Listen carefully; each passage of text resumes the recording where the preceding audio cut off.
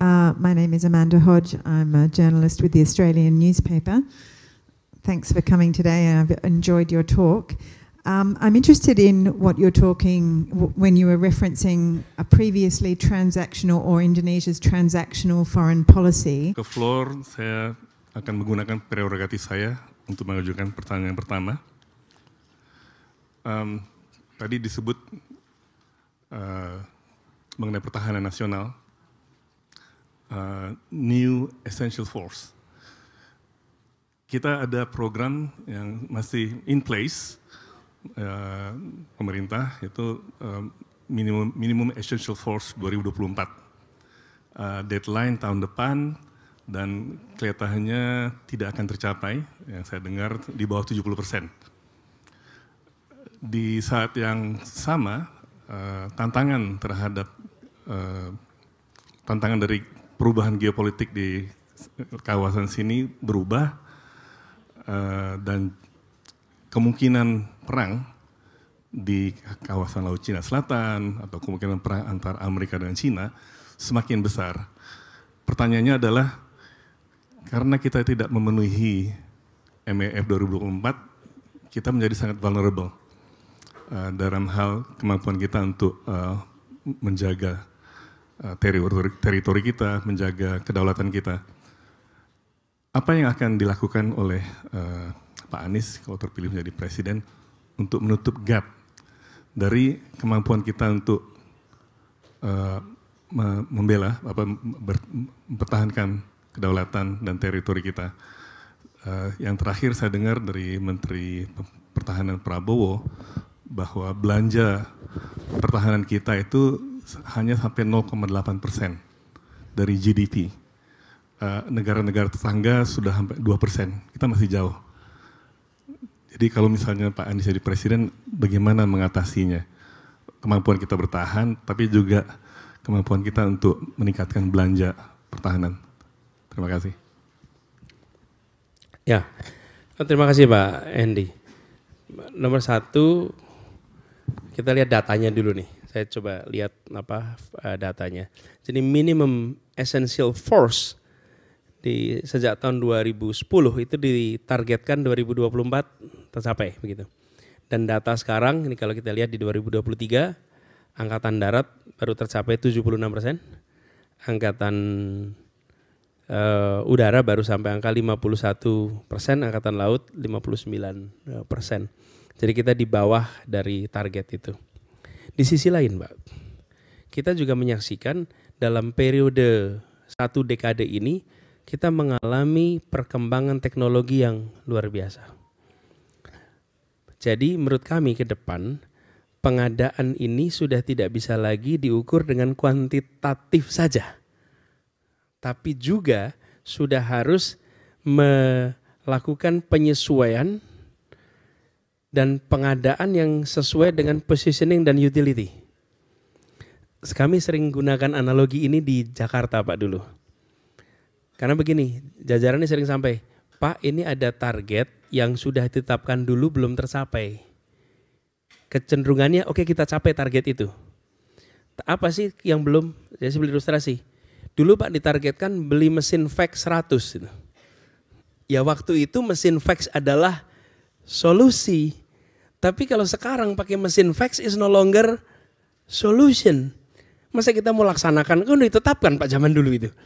Nah kecenderungan kita adalah apa yang sudah ditetapkan itu harus dilaksanakan. Sementara mengalami transformasi. Jadi menurut kami, kita harus membuka diri, invite apa uh, institutions, individuals yang understand state of the art untuk kita melakukan apa ya istilahnya leapfrog ini ya lompatan yang lebih cepat mengejar target secara substansi memenuhi yang kita rencanakan walaupun secara kuantitatif kita mengalami pergeseran. Kenapa? Karena ada uh, positioning yang yang bergeser. Jadi misalnya Positioning alutsista ini menyesuaikan lagi dengan lokasi, proyeksi kekuatan dan garis zona pertahanan. Jadi akses rantai produksi lepas zona ekonomi eksklusif. Kemudian wilayah terluar uh, zona ekonomi eksklusif yang jadi pintu masuknya Alki, kemudian garis pantai. Jadi kita bisa melakukan penyesuaian. Kemudian utilitasnya. Kita bisa membuat alutsista ini menyesuaikan kebutuhan dan uh, kegunaan secara lebih efisien untuk pertahanan nasional dan proyeksi uh, kekuatan di di kita. Dan adaptasi ini yang harus kita lakukan sama-sama. Jadi tadi Mas Pak Endi, kalau bisa kami melihat itu. Lalu yang berikutnya adalah infrastruktur dan SDM juga harus melakukan penyesuaian di sini. Bila kita menggeser cara pemenuhannya, maka kita harus lakukan penyesuaian pada uh, eh, SDM-nya. Nah, tapi ini perlu waktu juga untuk modernis untuk pergeseran itu karena proses modernisasi itu bisa 4 5 tahun. Jadi kalau uh, disebut kita memenuhi target tahun depan rasanya sulit Pak dengan kenyataan seperti sekarang. Tapi kalau diberi waktu beberapa ekstra dengan penyesuaian tadi rasanya kita bisa mengejar mengejar uh, itu. Lalu ada hal yang agak teknis. Tapi ini menurut kehemat kami berdampak dalam anggaran ketidakseragaman alutsista kita. Itu merepotkan dari sisi maintenance. Jangankan alutsista, armada bis saja itu kalau mereknya beda-beda pak. Itu bagian montirnya itu repot pak ngurusinnya. Karena armada bis saja. Apalagi alutsista. Jadi kami melihat perlu ada konsistensi di dalam kita memiliki alutsista kita dari sisi uh, apa jenis Eh, merek dan lain-lain. Kemudian sudah mulai kita berbicara tentang perkuatan industri pertahanan kita. Kalau kita ingin dalam jangka panjang berbicara tentang negara yang berdaulat, maka mau tidak mau kita harus serius menangani ini. Dan ini ini kita rujuk apa? Tank shopping nih yang bilang. Core-nya apa? Core-nya itu industri baja jadi kalau kita tidak serius kembangkan industri baja, perekonomian nggak akan bergerak dan yang pasti industri pertahanan tidak akan bisa maju. Nah kita harus kembali ke ke sana dan kalau kita perkuat industri pertahanan, saya rasa ada potensi besar sekali untuk transfer teknologi dan lain-lain. Begitu Mas Andi. Terima kasih Mas Anis. Uh, sekarang saya ingin mengundang uh, satu penanya, Michael Batikiotis. Are you here? Uh, silakan. Boleh bahasa Indonesia, bahasa Inggris. To tolong mikrofon. Terima kasih uh, Pak Andy. Uh, Pak Anies, uh, I'll ask the question in English, but you can silakan jawaban dalam bahasa Indonesia. Um, you have talked about a foreign policy that is more proactive and values-based.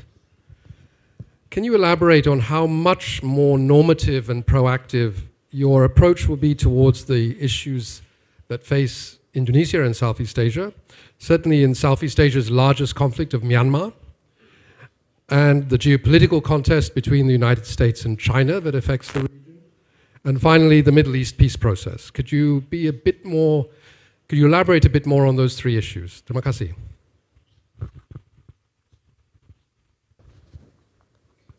Jadi begini, kami melihat misalnya terkait dengan apa yang oh sebentar Pak Michael senang bisa ketemu. Kami masih kuliah udah baca bukunya Pak thank you Pak. Uh, Pak Michael kami melihat terkait dengan kenapa proaktif itu penting Pak. Karena kalau kita bicara tentang proaktif itu penting maka kita akan membuat jajaran dalam artian korps diplomat kita, kemudian kita akan bisa membuat bangsa kita itu punya orientasi kepada global yang lebih tinggi. Harapan itu yang kita ingin ingin dorong. Bahkan saya semenjak di kampus Pak Michael, saya selalu menganjurkan para mahasiswa untuk punya paspor. Anda kalau belum punya paspor, Anda belum jadi warga dunia. Dan terbang ke Singapura itu lebih dekat daripada terbang ke Medan dengan cara begitu Anda punya perasaan global. Jadi proaktifnya itu bukan hanya di sisi policy tapi di dalam mendorong masyarakat. Kemudian Yang berikutnya terkait dengan krisis-krisis yang ada di luar. Misalnya, sekarang ini tension tinggi di Timur Tengah. Ini kenyataannya. Kita tidak usah berpretensi bisa ikut menyelesaikan konflik Israel Palestina. Itu jauh sekali dari sisi apa kemampuan kapasitas kita. Bill Clinton mencoba tahun 2000, dicoba dikumpulin. Sepakat tuh Ehud Barak di situ, Yasser Arafat di situ, two state solution disepakati. Pulang ke kampungnya masing-masing, breakdown. Tapi kita menyadari bahwa dari pengalaman kita ketika kita mencoba kemerdekaan dulu, tidak mungkin ada peperangan yang menghasilkan perdamaian, nggak mungkin perdamaian itu selalu negosiasi politik. Kita baru berhenti perang ketika 49 KMB diketok. Kita tidak berhenti dapat pengakuan dari Belanda ketika Jogja diambil alih. Ketika Jawa Tengah dikuasai bukan, tapi ketika proses negosiasi jadi. Apa kata kuncinya sebelum negosiasi? Bersatu. Jadi Indonesia proaktif mempersatukan Palestina. Menurut saya peran Indonesia di situ. Apa yang kita kerjakan bersama Palestina? Ini konflik yang usianya bukan setahun dua tahun, usianya panjang. Investasi dari awal. Anak-anak Palestina dari kelompok Gaza, Fatah dan lain-lain. Apa susahnya bawa mereka ke sini? Lihat mereka kehidupan di sini. Bisa ratus, bisa ribu tinggal di sini. Melihat bagaimana kita bisa bersatu, tenang, teduh. Bawa pengalaman itu mereka pulang. Terus panjang. Tapi kita proaktif jadi bukan saja proaktif mencoba mempersatukan faksi, mempersatukan faksi yang sudah bertarung bertahun-tahun dan luka, itu nggak gampang. Tapi kita investasi di generasi berikutnya secara serius, bawa itu Pak ke sini. Jadi proaktifnya itu bukan hanya di level politik, tapi di level pendidikan, di level kultural, di sisi mana yang kita bisa reach out. Jelas ke sisi Palestina kita bisa reach out. Tujuannya membantu mempercepat terjadinya persatuan di situ. Tanpa mereka bersatu tidak mungkin. Itu kalau faksi Sahrir dan faksi Soekarno nggak bersatu, nggak terjadi Agustus 45 juga. Nggak terjadi. Faksi-faksi di kita tuh juga banyak juga. Tapi kalau tidak bersatu nggak jadi. Dan faksi-faksi di sana juga begitu. Jadi kami melihat Pak, pentingnya untuk secara apa uh, serius kita melakukan itu. Ini contoh yang terkait dengan itu. Begitu ya Pak Michael. Makasih. Selanjutnya saya mengundang Aderia. Pemret dari Southeast Asia Voice, tolong mikrofon. Um, terima kasih, thank you for the opportunity. Halo Pak Anies, saya Deria. I'm the Editor-in-Chief of Southeast Asia Today, uh, Excellencies, Bapak dan Ibu. Um, I came here yesterday Pak, uh, untuk mendengarkan pidato uh, dari kandidat yang lain tapi dari kemarin dan hari ini saya tidak, uh, saya belum belum melihat media itu masuk di dalam um, hal yang penting untuk uh, foreign policy, your future uh, foreign policy. Um, padahal kami sebagai media di Indonesia merasakan um, setidaknya yang berasa banget adalah saat ada ke perang Rusia dan Ukraina dan juga di uh, Palestina Israel uh, sekarang ini kami mendapatkan um, banyak sekali semburan informasi dari perspektif masing-masing negara. Jadi untuk uh, Rusia dan Ukraine, um, I am in the same group with uh, Pak Fasil. Where's Pak Fasil? Yeah, hi Pak. Yeah. So uh, we got uh, the perspective from the Ukrainian side uh, from uh, the WhatsApp group. Dan saat yang sama juga Russia Today dan uh, media-media uh, dari Russia juga reach out ke kami gitu untuk menyampaikan perspektifnya mereka. Begitu pula di perang Pales, uh, sorry di konflik pa Palestina Israel sekarang ini, kami juga mendapatkan banyak sekali uh, semburan informasi dari pihak-pihak yang uh, terlibat di sana. Nah, Tadi Bapak menyebut di dalam presentasi soal um, soft power diplomacy, yang menurut saya itu sangat memang sangat penting. Kita sudah me, me, sangat visioner sekali tadi yang sudah disampaikan uh, target Indonesia ke depan, cita-cita Indonesia ke depan. Tetapi uh, how to make uh, Indonesian voice and Indonesian's perspective heard internationally? Apakah uh, uh, sorry, bagaimana pelibatan media dalam hal ini. Itu Pak. Terima kasih.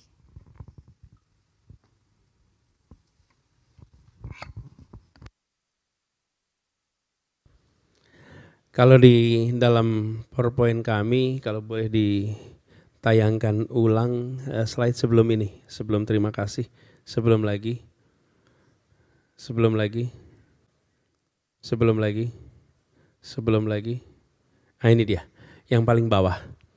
Kami melihat pentingnya ada pemulihan institusi, di sini terkait dengan media, penyehatan demokrasi, kebebasan pers, lalu pemberantasan korupsi. Ini garisnya. Jadi kami melihat satu memberikan ruang untuk kebebasan pers. Yang kedua, Bapak Ibu sekalian, menghadirkan Indonesia di dunia itu statement. Kalau program harus ada anggarannya. Ada anggarannya. Dan kita ini tidak pernah serius mengalokasikan yang cukup untuk diplomasi global. Baik itu media, budaya, sosial. Itu piecemeal. Kalau ini menjadi strategi, maka semua harus alokasikan yang yang cukup. Dan menurut hemat kami, kalau itu dilakukan termasuk teman-teman apa media itu dua, satu media domestik ke sana, yang tidak kalah penting adalah mendatangkan media global ke Indonesia. Itu punya dampak yang luar biasa. Jadi misalnya kalau terkait dengan apa eh, ada recent konflik di sini eh, di sebuah lokasi, maka atau recent event negara itu memberikan kesempatan kepada media-media kita untuk bisa berada di sana, untuk kemudian bisa hadir di sana. Event-event kultural, event pendidikan bisa didorong untuk ke sana. Harus ada alokasi anggaran yang yang cukup. Selama ini itu uh, kurang diberikan. Lalu exchanges in term of uh, journalist, uh, editor, menurut saya ini penting sekali untuk kita berikan kesempatan untuk bertukar sebagai ilustrasi Pak, kita pernah mendatangkan jurnalis-jurnalis sastra budaya dari Jerman dalam angka yang cukup banyak. Mungkin 20 sampai 30 mereka datang ke sini untuk berkeliling di Indonesia menulis tentang sastra budaya Indonesia dan itu dampaknya sangat besar. Jadi kami melihat teman-teman media punya peran satu dijamin kebebasannya, yang kedua didukung Eh, program-programnya untuk bisa hadir di dunia internasional. Yang ketiga, jurnalis global bisa datang ke sini dan berada di Indonesia untuk waktu yang cukup panjang dan itu membutuhkan keterbukaan dari kita untuk memberikan ruang ke situ. Begitu ya contohnya. Terima kasih. Karena akan membuka kesempatan buat floor bertanya, saya akan mulai dari mungkin dari ambassador yang akan bertanya. Silahkan uh, you may, from the ambassadors here, from this group, uh, if you have a question, uh, you're welcome to raise the question in English, and then Pak Anies will answer in Bahasa Indonesia. Any, any taker from this group here? Okay, oh, there's one name. Okay, please, uh, uh, your name and your uh, country. Thank you. microphone, sorry.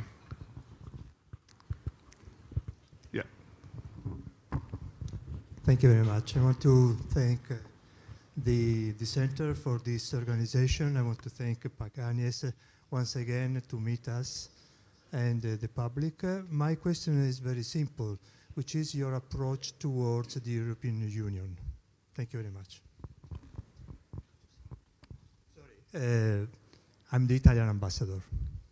Can you be a little bit more specific?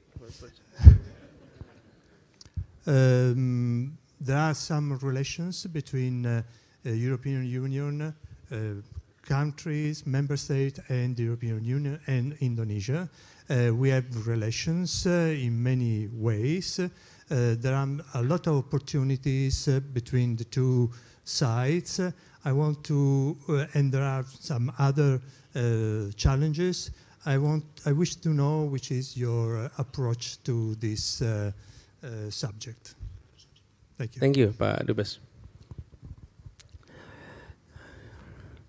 Ya, senang sekali bisa ketemu lagi beberapa waktu yang lalu we had gathering dengan para dubes uh, Uni Eropa, uh, Pak Dubes Portugal dari tuan rumah pada waktu itu kita ngobrol diskusi cukup panjang tentang kebijakan-kebijakan situasi domestik dan kebijakan global.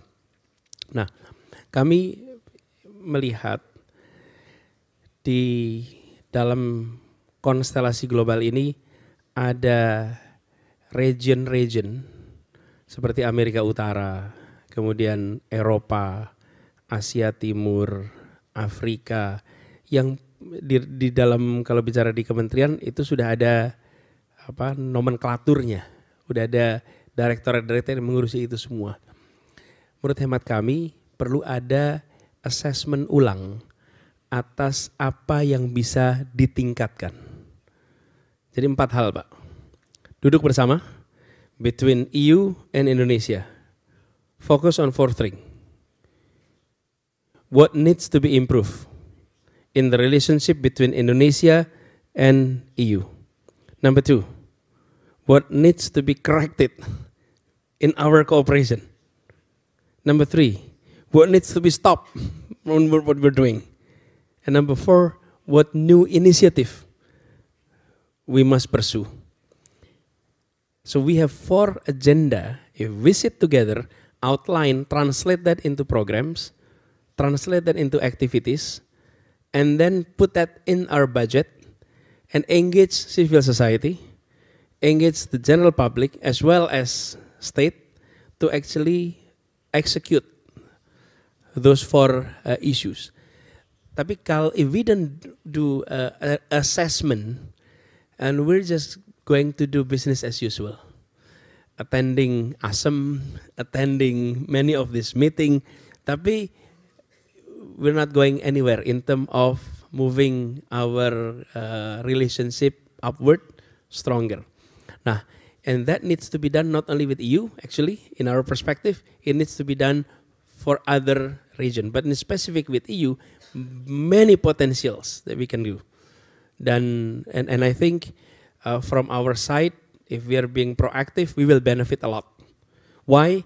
Because this polarized world, dengan situasi yang, maaf kembali, dan situasi yang terpolarisasi, kami melihat penting sekali bagi Indonesia untuk bisa menjangkau Uni Eropa, untuk bisa menjangkau Amerika lagi, lebih kuat lagi, untuk menjaga region lain, sehingga Indonesia memiliki mitra yang lebih setara di dalam kita melakukan pembangunan domestik dan di dalam kita berinteraksi di skala uh, global.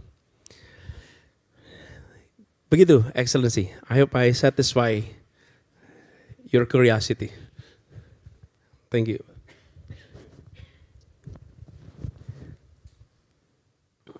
I'm going to turn to this side. Uh, okay, already see two two hands uh, here.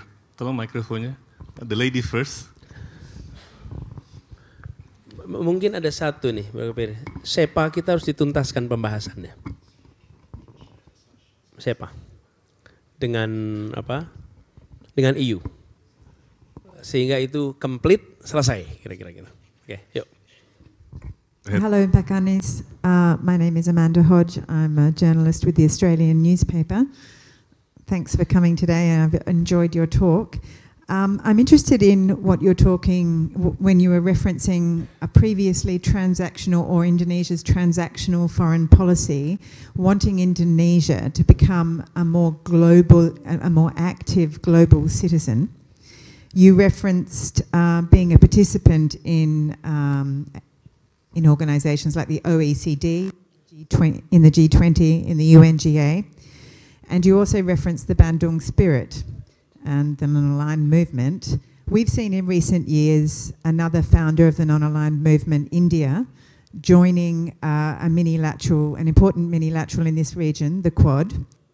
I wonder if Indonesia's free and active policy, as you see it, precludes Indonesia from perhaps joining where it could could take advantage of one of these new minilateral organizations, whether it be the Quad or AUKUS or one of these?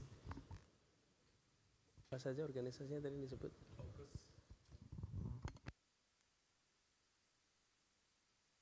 Yang apa ya? Bidangnya apa? Oh ya, yang itu. Tapi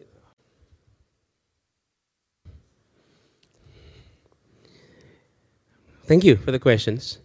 I, I would rather see Indonesia participating more on international uh, institution or, or cooperations with regard to economic activity at this point, instead of on and that is leaning toward security or leaning toward yeah non-economic activity at this moment. So, for instance, if you know uh, if we have an opportunity that we are now pursuing OECD, for instance, then it is something that we need to to push. But if we are uh, engaging more on the uh, on the uh, military and power uh, related uh, cooperations, it may shift our pre, uh, core principles of neutral, non-aligned state, and I think we need to maintain that status. But if we're able to engage uh, with international coopera uh, cooperations like OECD, for example, we will benefit uh, as much as they benefit from our presence. That would be my resp response. Okay, uh, that was I think the microphone the next person. Yeah, and I'm going to turn to that side afterwards.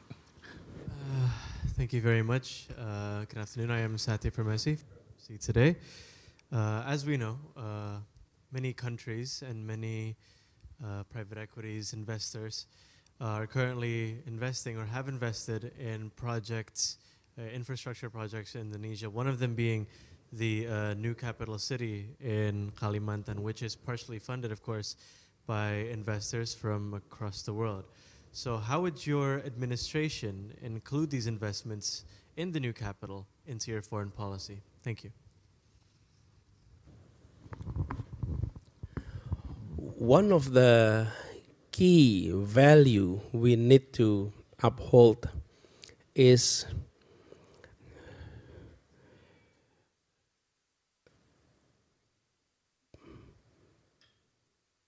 predictability, consistency, and respect to contracts, cooperation that has been made by government, be it new government agree or disagree. I think that's key.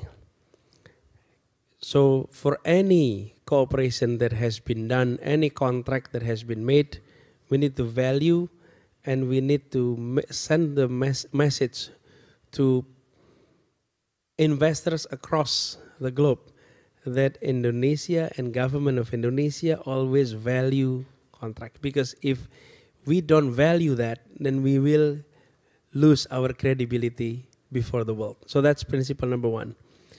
On the project itself, the project itself, we will allow assessment.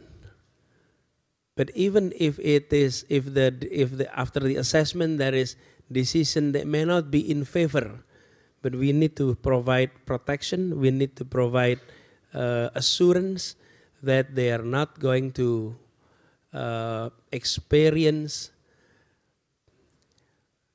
loss or uh,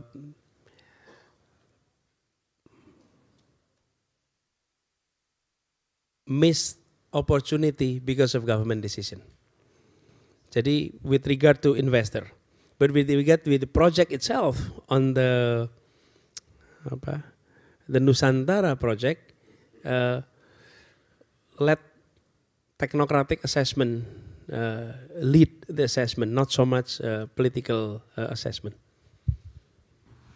Okay, I'm going to take questions from this side. There's one hand raised there. Uh, please, can you get the mic microphone?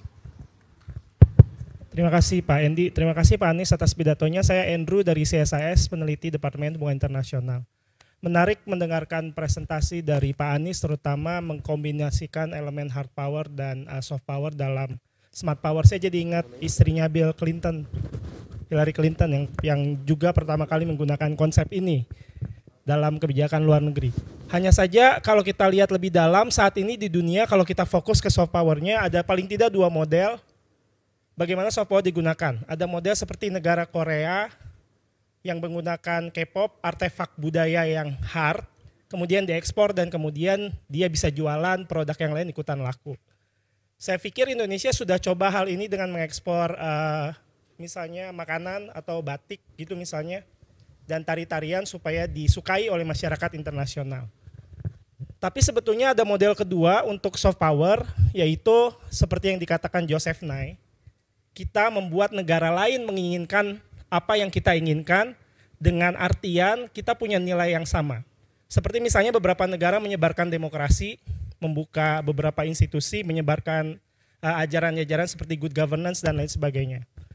Kalau pemahaman yang kedua yang kita ambil mengenai soft power, menurut Pak Anies apa nilai khas Indonesia yang saat ini bisa kita tunjukkan ke dunia dan kalau dunia mengadopsi nilai itu, dunia akan menginginkan hal yang sama dengan kita. Apakah masih terbatas pada bineka tunggal ika, toleransi, kesetaraan beragama, dan lain sebagainya. Dan dengan demikian, kalau ini soal kebijakan luar negeri, bagaimana menggerakkan komponen domestik supaya semua orang mendukung itu dan tidak ada pihak-pihak yang kemudian mengganggu nilainya seperti melakukan praktek intoleransi di dalam negeri dan lain sebagainya yang kemudian bisa ditangkap oleh media asing. Terima kasih.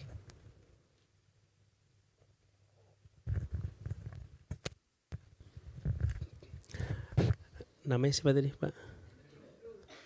Andrew. Andrew, makasih Pak Andrew atas pertanyaannya.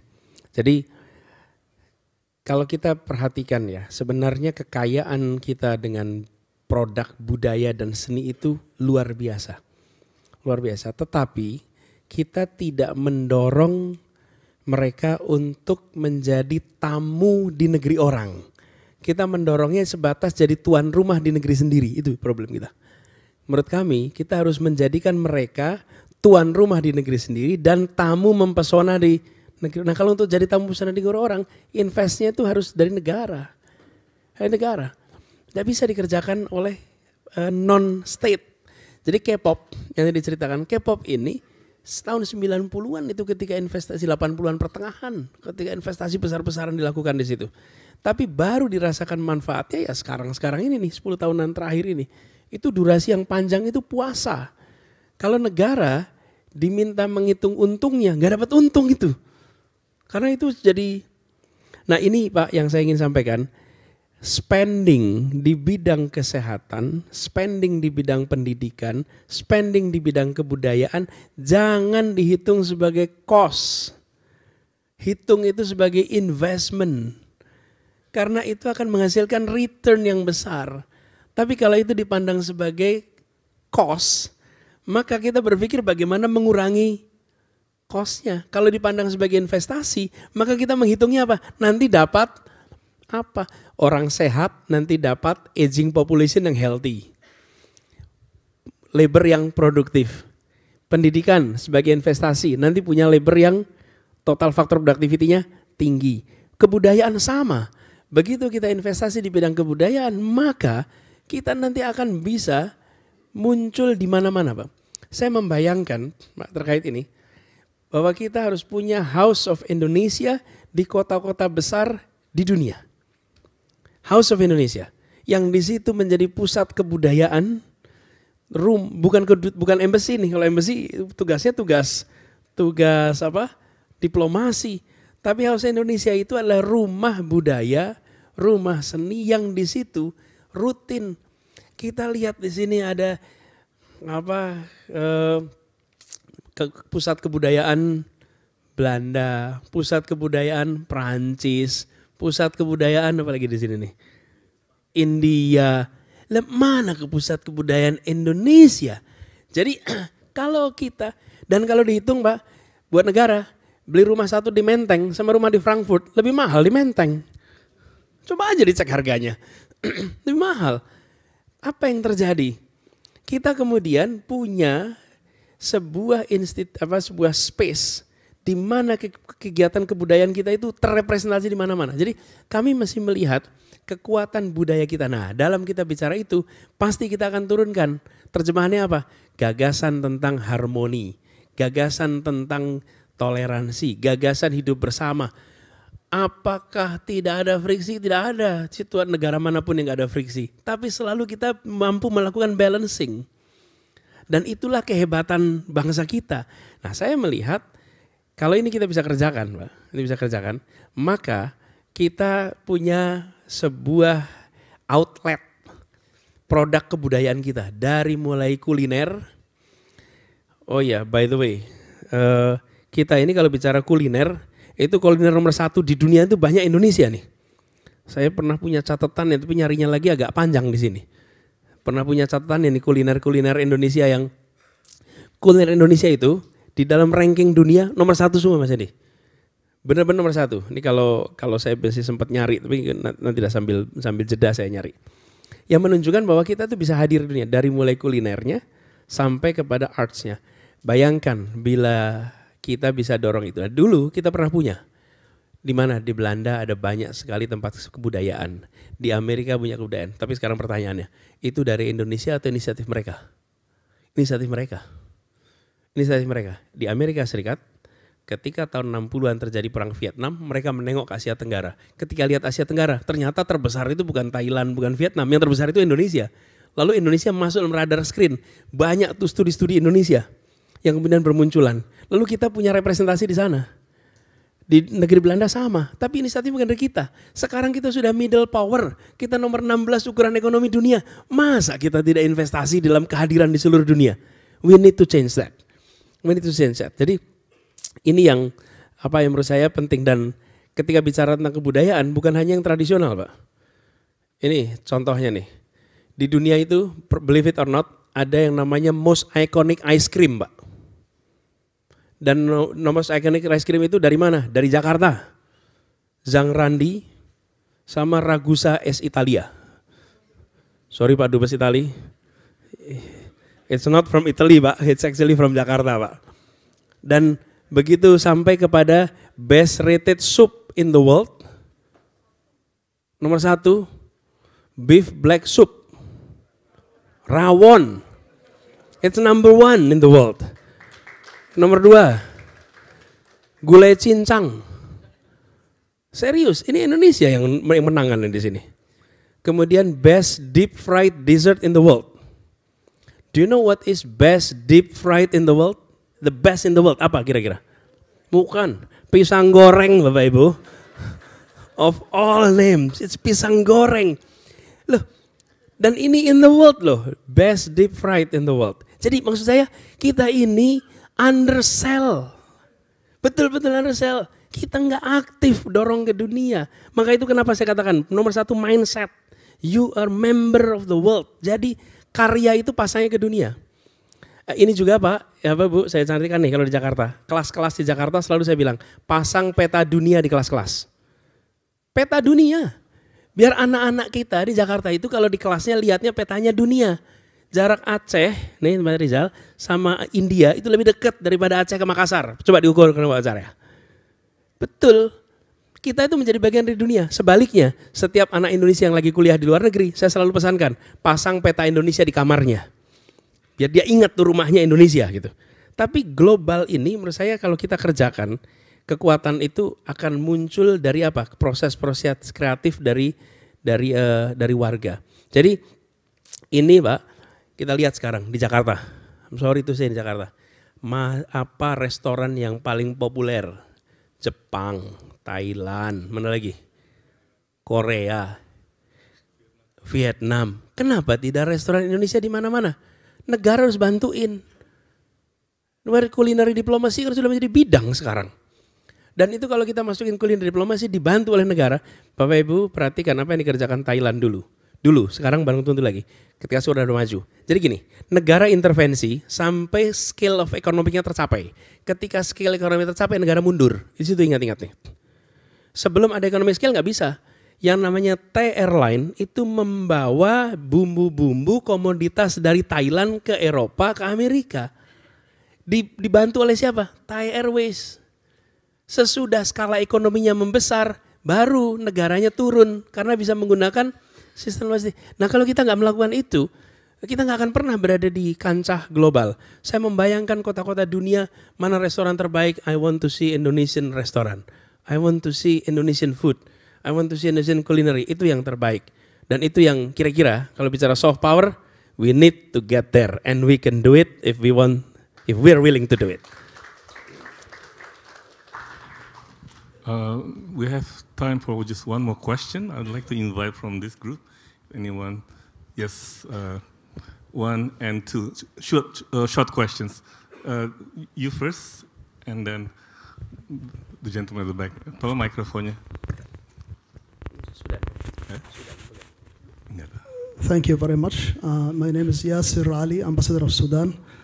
I'd like to thank you for the elaborative and very interesting presentation. And you've mentioned about the spirit of Bandung. Uh, so I'd like to know uh, your, your policy towards Africa. This is go- give a, a very good uh, gesture to us as African. And uh, from a perspective of uh, achieving the, the, the food security for Indonesia, for example, uh, as you know, Indonesia is aspiring to achieve food security, and there is a, a huge opportunities to cooperate with some African countries, which has a lot of resources, to cooperate with you to, to achieve that. And also, African aspiring uh, to have you know a sort of uh, cooperation, especially in the technical and capacity building. Uh, we have noticed that many African, many Asian countries, like uh, from the ASEAN are having very active role with Africa, and I think Indonesia, to some extent, needs to, to exert more effort. I noticed this during my period as an ambassador in Tanzania. I saw many Afri- many ASEAN countries are very active with Africa, but Indonesia, I think, uh, needs to, to, to be more active in that regard. Uh, the the other uh, part, what about the, the, the, the plan for, for the BRICS? Do you have any plan to, if you are elected, to be part of the BRICS? Thank you.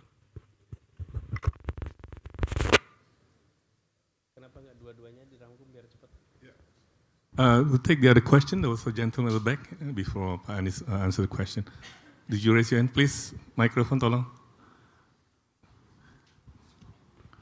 Thank you. Uh, uh, my name is Kanasugi Kenji, Ambassador of Japan. Uh, this is not so much to do with uh, uh, diplomatic strategy, but people say that democracy in the world is declining. And uh, during your presentation, you seems to suggest that uh, democracy in Indonesia is on the downside. And if if so, how are you going to redress the situation? How are you going to rectify uh, domestic politics in this country? Thank you.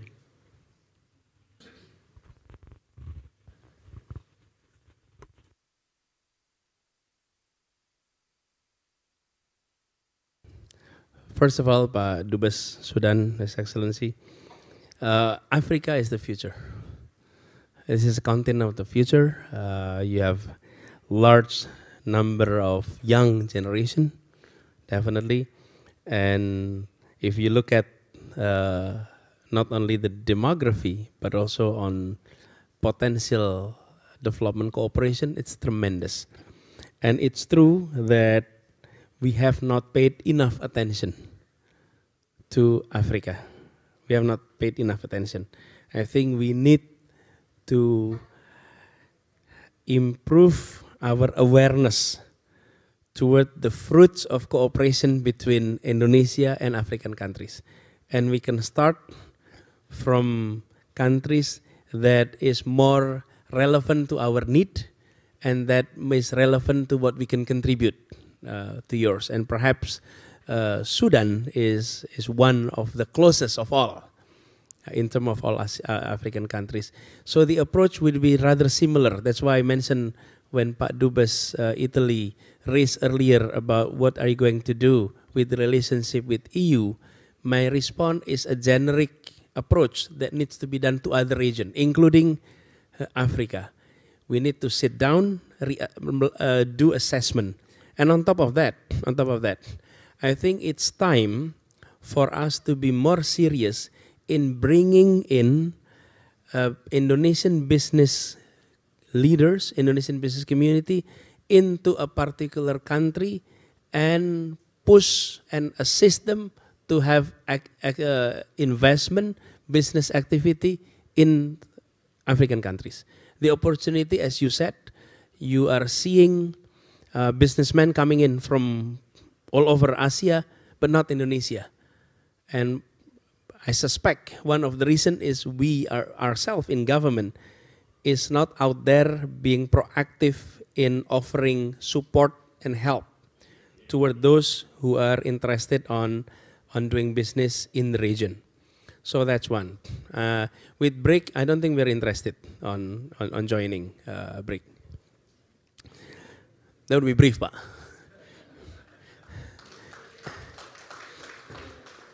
Now, uh, with regard to apa Pak Dubes uh, Japan on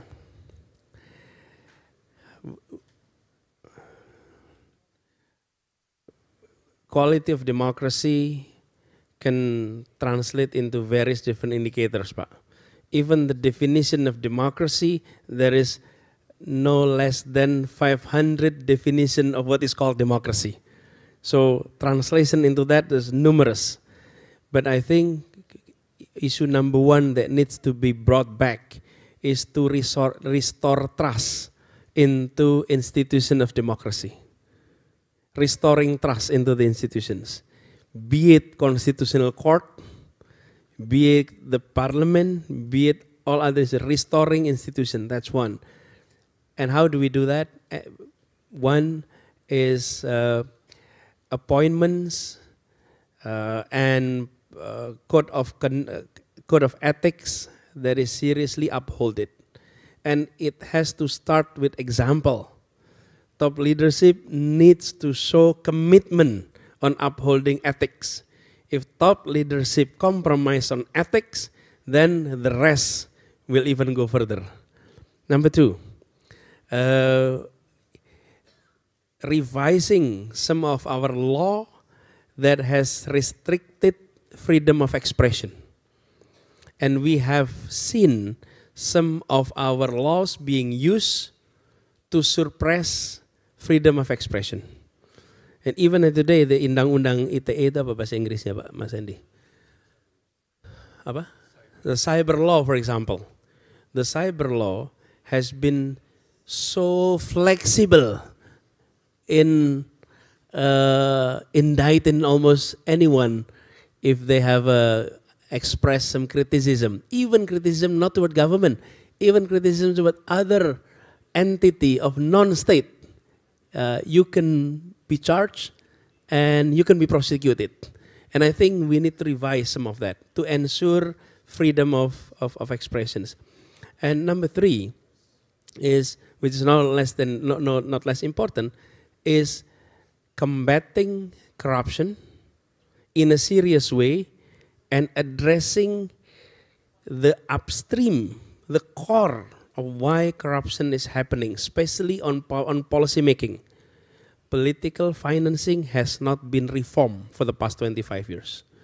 We reform our electoral system, we reform our party system, we reform central and local government relationship, we reform presidency and other national bodies of the state, but we did not reform how political process, how political party, how campaign is being financed. Without addressing that issue, we will always trap with various derivatives of corruptions, which is now uh, are seeing.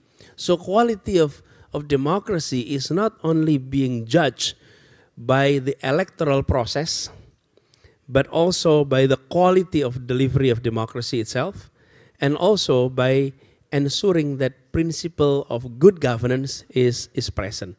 So that would be the agenda. This is big, may not be complete in a year or two, but if we don't start by expressing our commitment, outlining the plan, and making it public, then we will not be able to achieve all of that.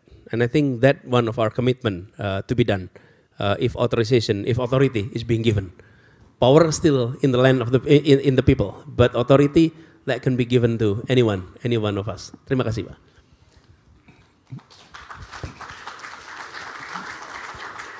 Terima kasih Pak Anies. Uh, sayang waktunya sudah habis. Uh, saya yakin masih banyak pertanyaan yang akan, dia, akan diajukan, uh, tapi kita harus berhenti. Uh, beberapa catatan, catatan dari saya, uh, tadi presentasi mulai dengan suatu visi, satu kemakmuran, uh, kemudian ada tantangan global, dan kemudian ada sejumlah rencana. Salah satu, salah satu yang menarik adalah perubahan mindset ya, bahwa kita adalah anggota dari masyarakat global, bukan Indonesia saja. Dan ada beberapa program-program tadi brand Indonesia yang juga diajukan uh, cukup komprehensif.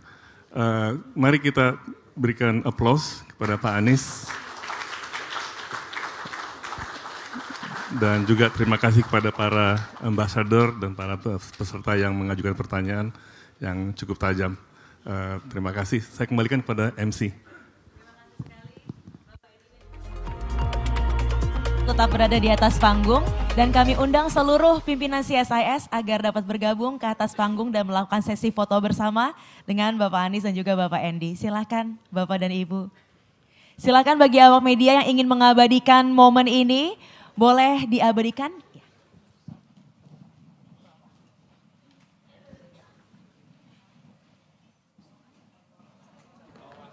Di bawah saja tidak apa-apa, ya di bawah saja tidak apa-apa, supaya lebih nyaman.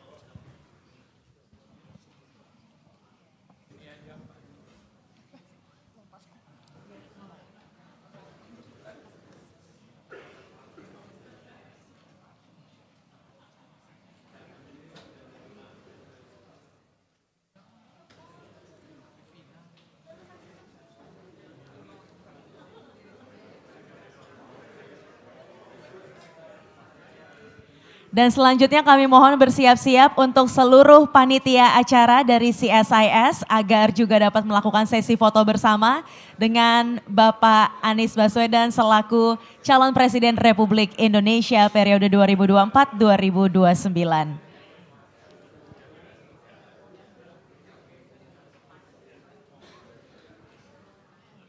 Terima kasih sekali kepada para Bapak dan Ibu pimpinan CSIS. Dan selanjutnya kami mengundang seluruh panitia acara pidato calon presiden Republik Indonesia dari CSIS agar juga dapat maju dan melakukan sesi foto bersama dengan Bapak Anies Baswedan selaku calon presiden Republik Indonesia.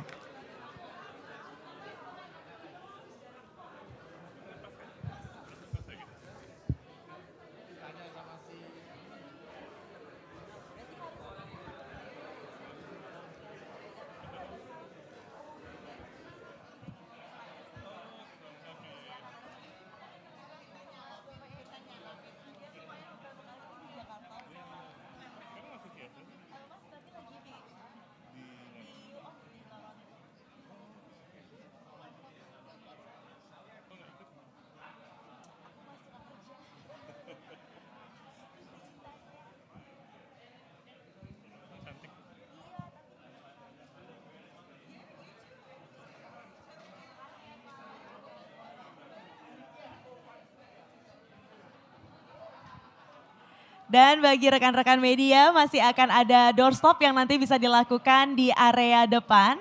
Dan juga kami menyediakan tea dan juga kopi bagi para tamu undangan yang hadir.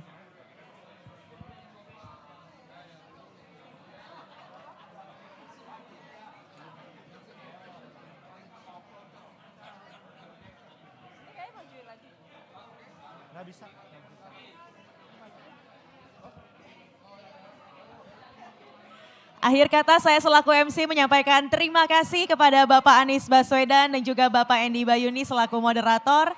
Serta para hadirin yang sudah bersedia datang dan menyimak acara hari ini dari awal sampai akhir. Mohon maaf jika ada kesalahan kata maupun perbuatan dalam setiap prosesnya.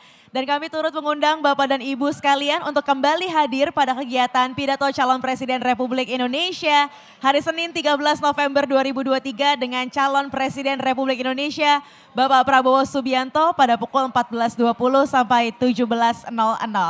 Akhir kata saya mewakili panitia yang bertugas menyampaikan permohonan maaf atas kesalahan kata dan perbuatan. Terima kasih. Wassalamualaikum warahmatullahi wabarakatuh.